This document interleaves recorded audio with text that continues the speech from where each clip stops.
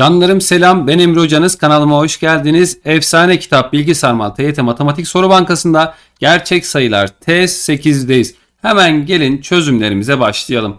A, L, I ve S harflerinden her biri birer rakamı gösterecek şekilde 2, 3, 4, 7 rakamlarıyla eşleştirilecektir. Ali, Sal, asi biçiminde 3 basamaklı doğal sayılar oluşturuluyor.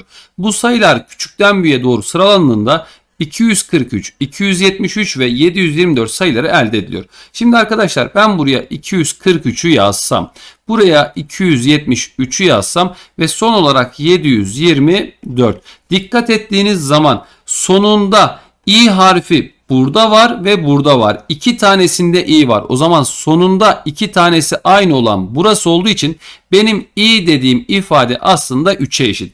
Şimdi geldim 2 tane A başta var. 2 2. O zaman A dediğin sayıda neye eşit olacak? 2'ye eşit olacak. Ve dikkat edersen 7'yi kimle eşleyeceksin? Tabii ki S ile eşleyeceksin. S dediğin ifade 7 olacak. Ve en son A'yı, İ'yi, S'yi kullandın. L'yi kullanmadın. L de tabii ki 4'e eşit. Buna göre Lisa 4 basamaklı doğal sayısı aşağıdakilerden hangisidir? L'yi yazacağız.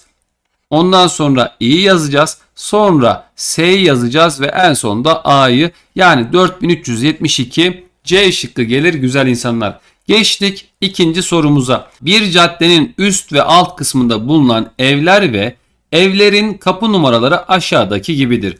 Caddenin üst kısmındaki evlerin kapı numaraları ardışık çift sayılarla, caddenin alt kısmındaki evlerin kapı numaraları ardışık tek sayılarla gösterilmiştir. Caddenin alt kısmındaki ev sayısı üst kısmındaki ev sayısının iki katından 5 eksiktir. Yani burada n tane ev varsa burada arkadaşlar ne olacak? 2n eksi 5 tane ev olacak. Peki buradaki kapı numaralarıyla ilgili b eksi a 39'dur. Buna göre caddenin üst kısmında bulunan evlerin kapı numaraları toplamı kaçtır? Şimdi diyelim ki bu birinci ev Farkındaysanız 2 çarpı 1 oldu. İkinci ev 2 çarpı 2 oldu. Üçüncü ev 2 çarpı 3 oldu. Yani hep 2'nin katları şeklinde gidiyor. O zaman n'inci ev 2 çarpı n. Yani a sayısı buradan 2n geldi. Şimdi canlarım burası 2'nin katını alıyorsun ama 1 eksi. 2 katını alıyorsun ama 1 eksi. 2 katını alıyorsun ama 1 eksi. Mesela birinci ev 2 çarpı 1 eksi 1. 2 çarpı 2 eksi 1. 2 çarpı 3 eksi 1. Mesela burası 2 çarpı 4 eksi 1. O zaman buradaki kapı numarasını ben nasıl bulacağım? Önce 2 katını alacağım. B dediğim şey önce 2 katını aldım. Sonra ondan 1 çıkaracağım. Yani düzenlenmiş hali 4'ten eksi 10 ve eksi 1 4'ten eksi 11 geldi. Bu ise B sayısı. Şimdi B'den A'yı çıkardığım zaman 4n eksi 11'den 2n'i çıkardığım zaman kime eşitmiş? 39'a eşitmiş. O zaman 2n eksi 11 karşıya artı 11 olarak geçti. Burası 50 oldu. N buradan kaç geldi? 25 geldi. Şimdi bizden istenen şey üst kısımdaki kapı numaralarının toplamı. N yerine 25 yazarsan 50 de duracak. 2, 4, 6 nokta nokta 50'ye kadar olan çift sayıların toplamı iki parantezinde 1, 2, 3 nokta nokta 25'e kadar olan sayıların toplamı. Ben burayı hemen 25 çarpı 26 bölü 2 yazacağım. Başında da bir tane 2 var. İkiler birbirini götürdü. 25 çarpı 26 o da 650 gelir güzel insanlar. Doğru cevap A şıkkı çıktı. Geçtik 3. sorumuza. Hemen sorumuzu okuyoruz. ABC, CBA, XY4 3 basamaklı, AA, CC 2 basamaklı doğal sayılardır. Yukarıdaki verilere göre sağdaki çıkarma işleminin sonucu kaçtır? Şimdi canlarım burada şöyle bir bilgi var. Ben ABC'den CBA'yı çıkardığım zaman XY 4 sayısına eşitmiş. Hemen burayı bir çözümlersem yüzler basamanda olduğu için 100 tane A'dan bir tane A çıkarsa 99 tane A kaldı. 10B'den 10B gitti. Hiçbir şey kalmadı. Eksi 100C ile artı 1C'nin toplamı da eksi 99C geldi. eşittir x, y 4 3 basamaklı sayısı. 99 a eksi c eşittir x, y 4. Şimdi size şöyle bir pratik bilgi vereceğim. Arkadaşlar 99'da bir sayıyı çarptığın zaman her zaman ortadaki sayı 9, baştaki ile sondakinin toplamı da yine 9 olur. Yani 99'da a eksi c'yi çarptığın zaman ben 594 sayısına ulaşıyormuşum. Peki hangi sayıyla çarptığın zaman 6 kere 9'un 54 elde var 5. 6 kere 9 54 5 daha 59. Hocam başka sonu 4 olan sayı yok mudur? Hayır yok. E demek ki a eksi c 6'ymış. a eksi c'nin 6 olduğunu buldum. E burası ne? a a'dan c c'yi çıkarıyorsun. Yani 11 tane A'dan 11 tane C'yi çıkarıyorum. Çözümleme yaptım 11A, çözümleme yaptım 11C. O zaman 11 parantezinde A eksi C geldi. A eksi C 6. Cevap da 66. Yani C şıkkı geldi güzel insanlar. Geçtik dördüncü sorumuza. AB, BA 2 basamaklı, A0, B 3 basamaklı doğal sayılar olmak üzere. Muammer bilgisayarında bulunan her biri 1 MB büyüklüğündeki A0B tane dosyayı silerken bilgisayarın ekranına birer dakikalık aralarla baktığında aşağıdaki görselleri görüyor. Şimdi arkadaşlar birinci dakika sonunda BA dosya kalmış, ikinci dakika sonunda AB dosya kalmış. Buna göre diyor ki bilgisayar sabit bir hızla dosyaları da silmiştir. Ekran görüntülerine göre başlangıçta silinmesi istenen dosya sayısı nedir? Şimdi arkadaşlar burası aslında 1 dakika burası da aslında 1 dakika. Çünkü toplamda 2 dakika geçiyor. Benim başlangıçta A0B tane dosyam yok mu? O zaman sen 1 dakikada A0B eksi BA tane dosya siliyorsun. Bu senin kalan dosyan ya. Düşünsene bununla burayı topladığın zaman A0B'ye gitmiş oluyorsun. Şimdi bu benim 1 dakikada silmiş olduğum dosya sayım. Silmiş olduğum dosya sayısı. Şimdi geldim buraya. Burada normalde benim şu an başlangıçta BA dosyam vardı. Ve ben kalan olarak AB'ye ulaşmışsam burada da o zaman BA eksi AB tane silmişimdir. Örnek vereyim. Mesela benim elimde 120 tane dosya var. Sen burada kalan dosya sayısına 90 dersen o zaman 120'den 90'ı çıkardığında 30 tane dosya silmiş oldun. E sen kaç dakikada yaptın bunu? 1 dakikada. Geldin o zaman yine burada 90 varsa 1 dakika sonra mecburen sen yine 30 tane sileceksin. Yani mantık olarak aynı şeyi yapıyoruz. E peki bu da yine 1 dakikada silmiş olduğu dosya sayısı.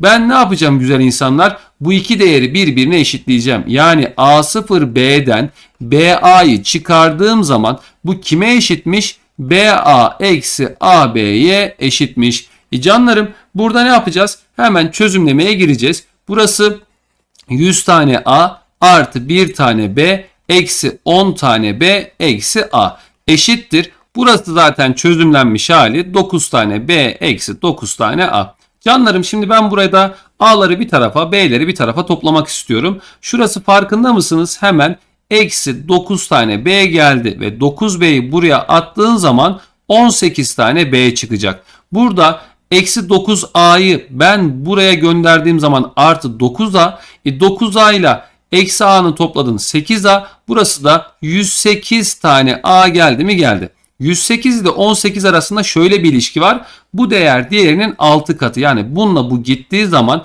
şurada 6 kalacak. O zaman 6 tane a dediğin değer b'ye eşit.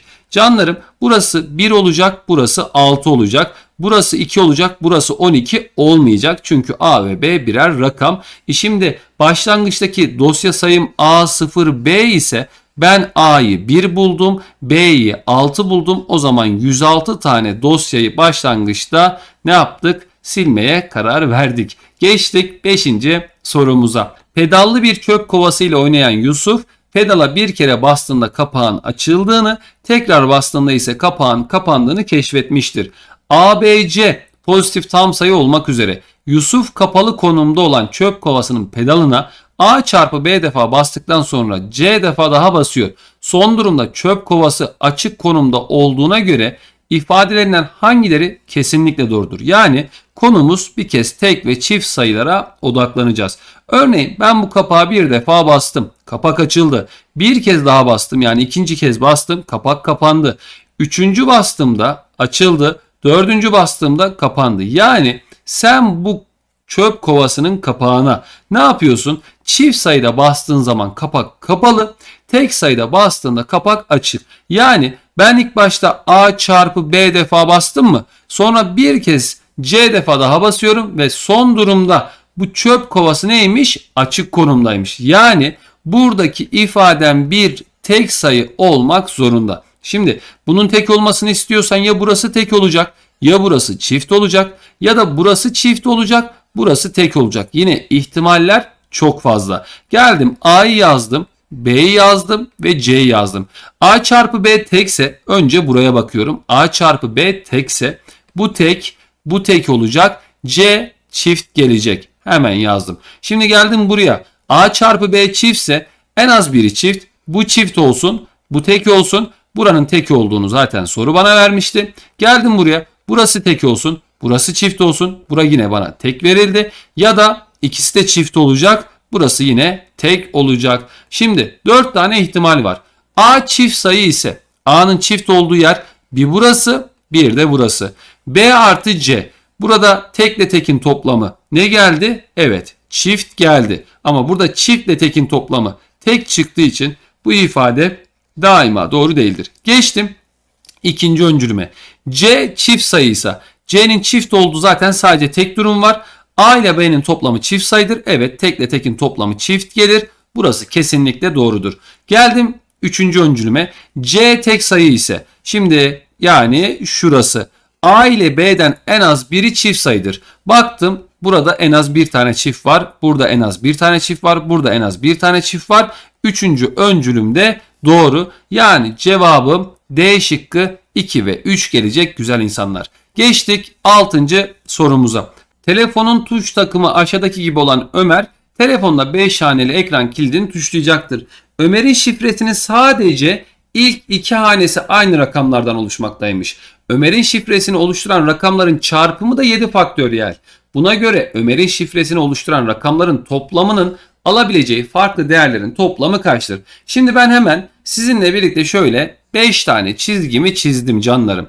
Ve bunların ilk iki hanesi aynı olduğu için burası A'ya A. Geldik buraya B, C, D yazdık. Niye B, C, D? Yani burada başka bir yerde A olamaz mıydı? Hayır. Çünkü sadece ilk iki hanesi aynı rakamlar. Peki burada şunların hepsinin çarpımı neye eşitmiş canlarım? Tabii ki 7 faktöriyele. Geldim 7 faktöriyeli ben sizin için açtım. 7, 6, 5, 4, 3, 2, 1. Şimdi bu A dediğim şey kesinlikle ama kesinlikle 7 olamaz. Niye? Çünkü içinde tek bir sayıda var. Yani bir tane 7 var. Başka 7 yok. Ya da A sayısı 5 olamaz. Çünkü o da bir tane sayıda var. Mecburen benim şuradaki sayımın birisi 7 olacak. Buradaki sayımın birisi de 5 olacak. Ben 7'yi 5'i karaladım.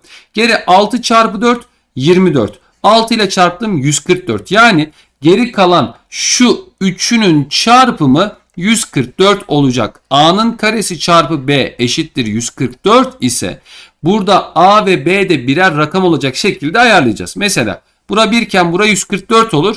Olmaz. Böyle bir şey gelmez. 2'nin karesi 4 iken burası 36 olmaz. Çünkü B rakam olacak. 3'ün karesi 9 iken burası 16. Evet burası 9 iken burası 16 olur mu? Olmaz. Geldim burası 16 iken burası 9 olur mu? Evet olur. Bak şimdi geldim hemen bakıyorum. A kare 16 iken A kaç? 4. Peki B kaç? 9. Sağladı mı? Sağladı. Hem de mis gibi sağladı. O zaman buradaki rakamların toplamını hemen şuraya bir sayı yazayım da karışmasın. 4, 4, 9, 5, 7. Şifrenin biri buymuş. Geldim buraya bu sefer. O zaman 5'in karesi olmaz. 6'nın karesi 36. Burası 4 olur mu? Olur. Bir tane de bu var. Peki dikkat ederseniz gelip sakın 144'e 1 söylemeyin. Çünkü 144 12'nin karesi 12 de bir rakam değil. Yani burayı sağlayan bir de 36'ya 4. 36 hangi sayının karesi? 6'nın. O zaman şifrenin bir de 6 6 4 5 7. Bunların toplamını sormuş. 8, 9 daha 17, 7 daha 24, 5 daha 29. Buranın sonucu 29 geldi. Şimdi buraya bakalım. 12, 16, 21, 28. Burada 28 geldi. Toplamları da 57 çıktı. Güzel insanlar. Geçtik 7. sorumuza. Arkadaşlar bu soru ÖSYM'nin çıkmış bir sorusu olduğu için biliyorsunuz ÖSYM'nin telif haklarından dolayı çözmemiz sıkıntılı, yasak öyle söyleyeyim. O yüzden 8. sorumuza geçtik. Hemen sorumuza bakıyoruz. ABC tam sayılar ile ilgili olarak aşağıdakiler bilinmekteymiş. Bunların çarpımı 0. Yani bu sayılardan en az bir tanesi 0. İkisi de olabilir, üçü de olabilir. Ama en az biri kesin 0. Çarpımları pozitifmiş. A'nın karesi ile B'nin küpünün çarpımı sıfırdan büyükse sıfır olan kimmiş? C'ymiş. C çünkü burayı sıfır yapıyor. O zaman hemen C'nin sıfır olduğunu yazdık. Peki A, B, C toplamları da negatif bir sayı. Canlarım şunun ben pozitif olduğunu çift kuvvetten dolayı biliyorum. E buranın sıfırdan büyük olması için B'nin de pozitif olması gerekiyor.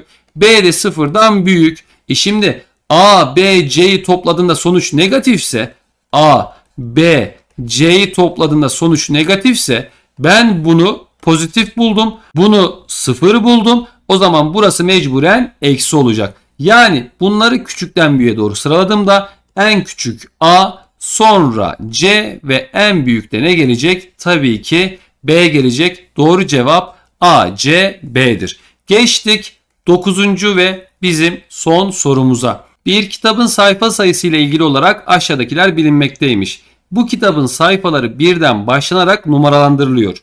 Kitabın tüm sayfa numaralarının toplamı son sayfa numarasının 60 katına eşitmiş. Yani 1, 2, 3, 4, 5 nokta nokta geldim. En son x'te bitirdim. Bizim kitabımız x sayfalık bir kitap.